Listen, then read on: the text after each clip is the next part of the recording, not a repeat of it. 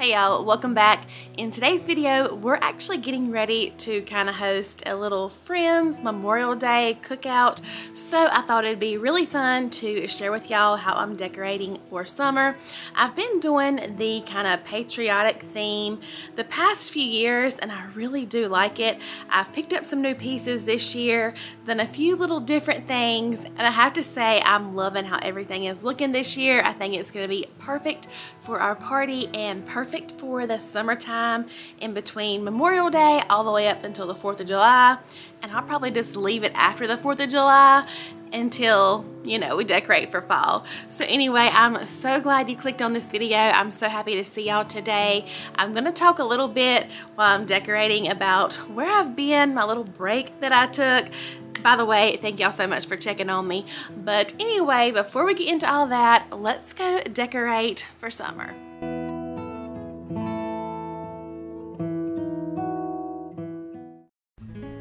All right, so we're gonna start over here in this little kitchen corner.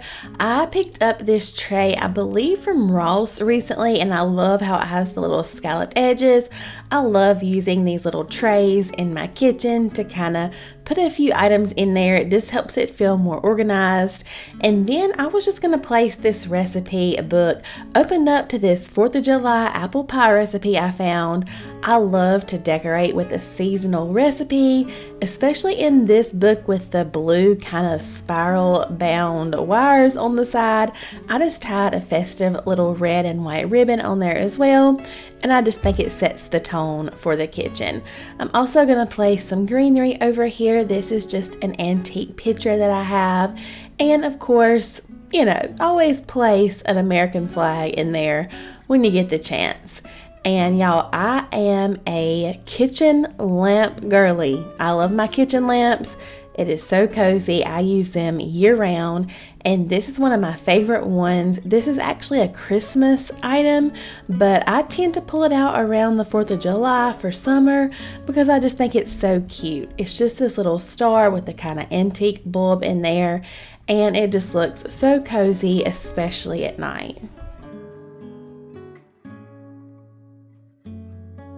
And obviously we're gonna need something to conceal this outlet we have over here beside it. I so wish that outlet was more towards the corner. But anyway, this is just a little kind of hand towel ladder. I've had it forever. And I did pick up this towel from Hobby Lobby this year. I tend to have a lot of red around for summer, so I like that one was navy. And then my little recipe box just kind of sits here all the time. So this is this little corner of the kitchen.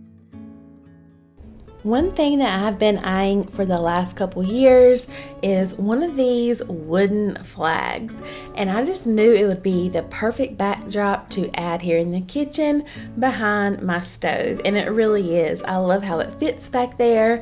I thought I might just keep it out just for parties but so far I've just left it out the whole time and then of course I love to put a candle here in the kitchen on our stove board. I was showing you this one because it doesn't really match the 4th 4th of July patriotic aesthetic, but I'm always on the hunt for these little vessels, something that these Bath and Body Works candles especially will fit into and that way you don't have to worry about the color of the label if you're worried about that kind of thing. But I'm not going to use this one here today but as you can see this is one I've used in the past for a candle so I just wanted to throw that idea out there but today I just love the way this candle smells so we're just going with it. Y'all, the Bath & Body Works candle that is my favorite for summer is the Summer Boardwalk, but they were sold out. So this one is just as good though. So we're gonna move over here to the other side and this is a tequila bottle that I just love how pretty it is and I love the colors on it. It's perfect for the 4th of July, so I wanted to leave it out. My plan is to make it into an olive oil container. I just thought that would be perfect and so pretty. So we're just gonna set that out. I have some cutting boards again with a little ribbon I just tied right on top. And now I'm just gonna kind of set everything up over here beside my stove.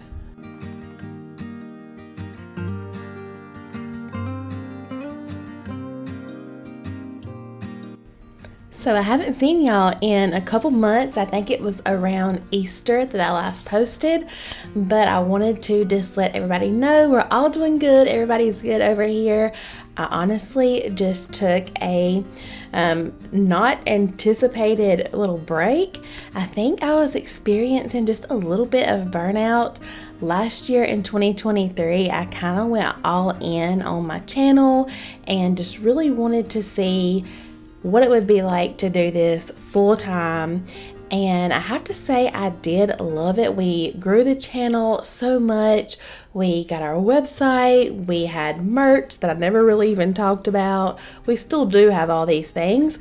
I created my cookbook, like you see here, and needless to say, all of those things took a whole lot of work, a whole lot of time, a whole lot of dedication.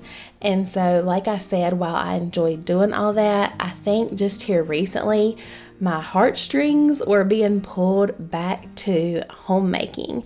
And I really just missed being able to just be a homemaker and instead of trying to pull recipes that I knew would do really great for the algorithm, you know, I missed being able to open up my family recipe book and pull from our favorites each week. Because obviously, making a cookbook and having a YouTube channel and all these things, I really never created much of the same recipes. So that's just one thing, but I think all in all, I just had a little bit of burnout and I just took a much needed break.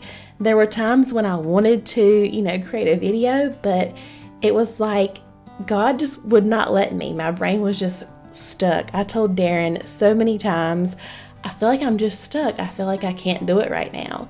So, like I said, maybe that was God just saying, just take a break, it'll be all right. Figure out what you want to do and then come back. So that's what I did. And like I said, my passion and what I feel is my purpose is homemaking. That's what I love to do. That's really why I started this channel. And although I love to cook, it is a favorite of mine and it's a huge part of this channel. To me, that's not the only part of homemaking that I enjoy. I enjoy all the things decorating, cleaning, organizing. I really enjoy all those things. As crazy as that may sound to some people. But anyway, I'm hoping to share more of those things on my channel, of course, along with cooking and the recipes that you're used to. But it was nice just to take a little step back, take a little breather, and really kind of refocus.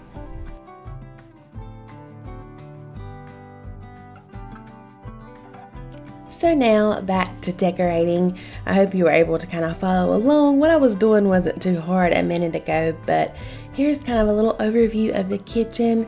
And these shelves in here, I did go ahead and decorate. Those are just some little cups over there from the party. But I just basically added in things in here. I, I keep a lot of my white stuff in here anyway and my clear stuff. So I just added a few little pops of red, white, and blue all throughout these cabinets. That little sign up there that says Jennifer's Kitchen, that is something that my mother-in-law got me and it's so cute and I love to use it in the summertime with my red, white, and blue theme. And again, pulling from my Christmas decor, I always have these mugs over in my coffee cabinet, and so obviously they're Christmas. I just turn them around for a little pop of red over here.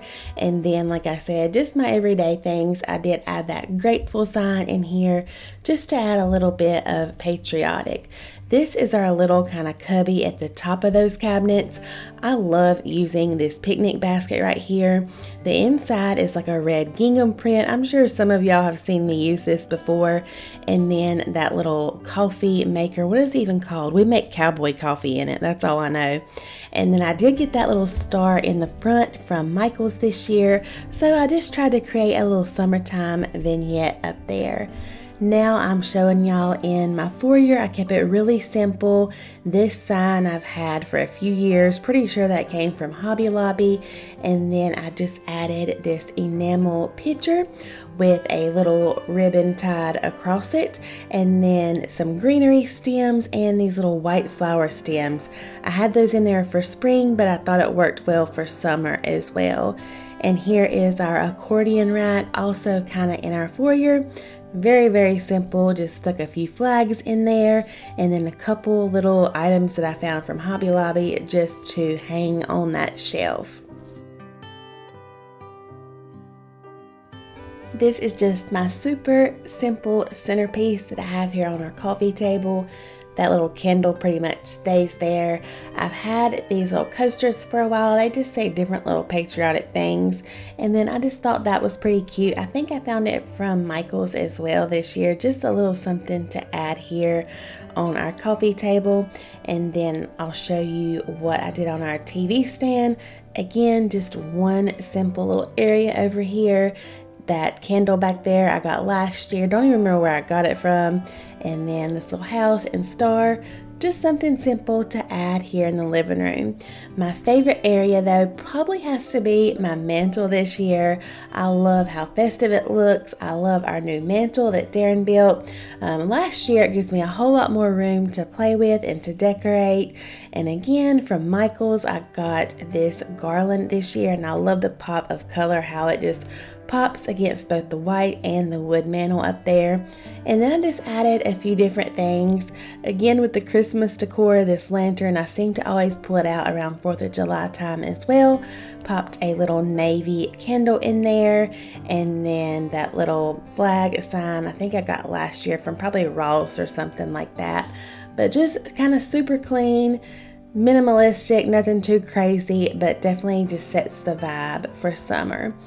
And then lastly, over here on this little arch piece, I wanted to add a wreath, but I have green wreaths everywhere. So I thought this one was fun from Hobby Lobby and a little bit different. I'm gonna hang it up up over here but I wanted to kind of hide that little command hook so I'm just going to tie some of this ribbon that I had I'm just going to make a simple little bow and let that kind of hang over the top